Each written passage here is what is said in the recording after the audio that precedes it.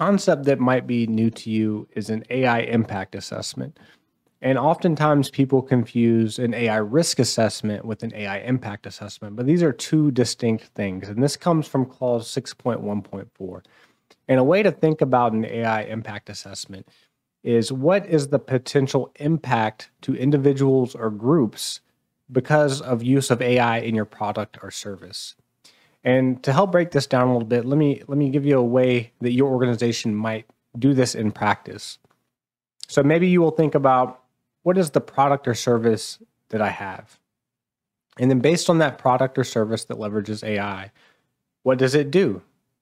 And then once you define what it does, you can ask the questions, well, how could that potentially impact individuals or groups in a negative way? And then you have to decide, well, how big a deal is that? Is that a really important impact? Is that a very likely impact on those individuals? And if you decide, yes, it is a high impact, it needs to be addressed, then you need to decide what can you do to help reduce the likelihood and the impact of that thing. So let me give you a concrete example.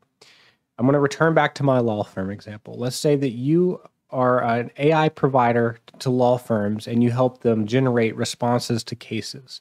Well, you can say, all right, what is my product? My product helps lawyers be more efficient by generating research for them on case decisions that they can use in their practices. That's what it is. That's what it does. Well, how could that impact groups or individuals? Well, if I if it returns bad results, it could result into uh, bad conclusions in trial. It could result in people. Uh, it could result in mistrials. It could result in people going to jail, their life being impacted, so on and so forth. So this is a very big impact. So I need to take that seriously. That's I need to mitigate these these measures. Now, what can you actually do to reduce that impact? Well, maybe you could make sure you have really good data. Maybe you could do really good quality assurance on those results. Maybe you could communicate very clearly to those law firms so that they understand that they can't just take those results at face value. They need to validate them and imply their own interpretation. Maybe you can train the law firms on how to use that.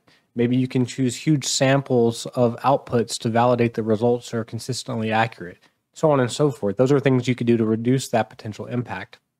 So, whatever it is that you do at your organization as a product or a service, you can take it through this same impact assessment methodology.